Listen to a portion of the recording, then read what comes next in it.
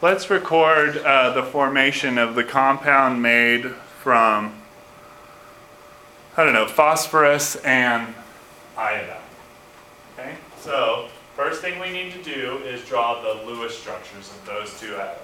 Okay, so phosphorus Lewis structure, remember, dot, so five valence, right? One, two, three, four, five.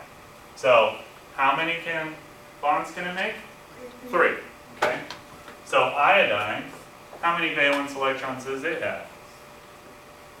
Seven, right? So we'll draw them one, two, three, four, five, six, seven. I'll draw them that way because I want that to be the bond. Okay? So if I bond this with this, does that fill up everybody's valence shell? No. So how many more iodines do you guys think I need? Two. Why? Because iodine makes how many bonds? One. And phosphorus makes how many bonds? Three. Okay, so you're gonna need two or three of those iodines.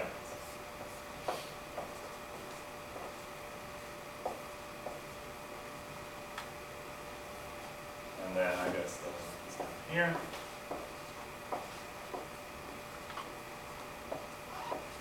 Is everybody okay with that? And now what we do is draw what we call fishhook arrows, the motion of one electron.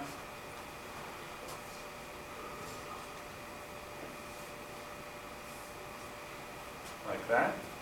Okay. And we make this compound called phosphorus triiodide. And I'm just going to turn it over.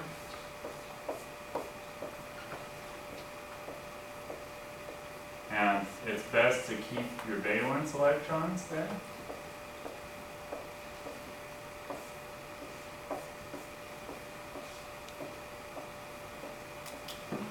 Like that. Okay, so hopefully you guys drew a picture similar to that. So this is called a Lewis structure.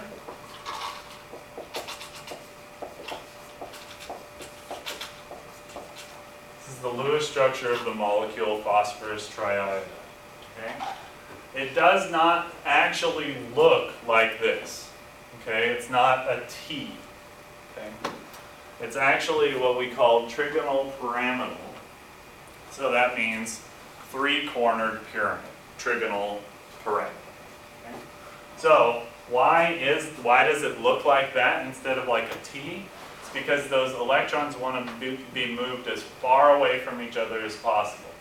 And VSEPR theory uh, states that because they're negatively charged, right, they don't like to be in the same area as each other. You got two negatively charged things kind of boun- bouncing away.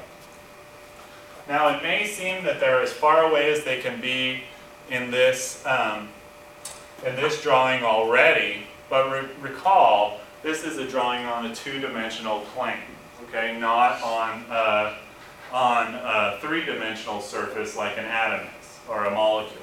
Okay? So in order to adjust for that, we have to recall that they are spheres, atoms, and when we draw phosphorus triiodide, we're going to draw it showing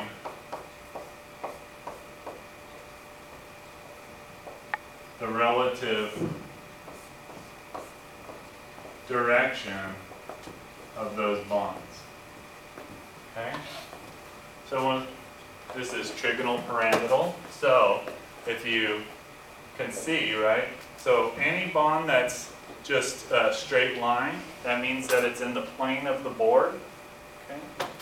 Any bond that's uh, a hashed line means it's behind the plane of the board. And any bond that's a wedged line means it's in front of the plane of the board. What we will learn, and we don't have very much time right now, and I know we're just introducing this topic, is how to figure out what the bond angle is. So we already said that this is a trigonal pyramidal structure. So from that, you should be able to tell what the bond angle is, and I go, know you guys haven't memorized them yet, but in this one, this case, this one is one oh seven point three degrees. Okay, so there's these numbers that you're going to have to memorize. That's one of them, okay?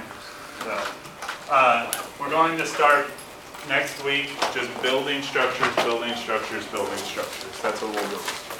Okay, are there any questions on this one? Probably a bunch, but probably nothing you guys can ask me right now, right? Okay.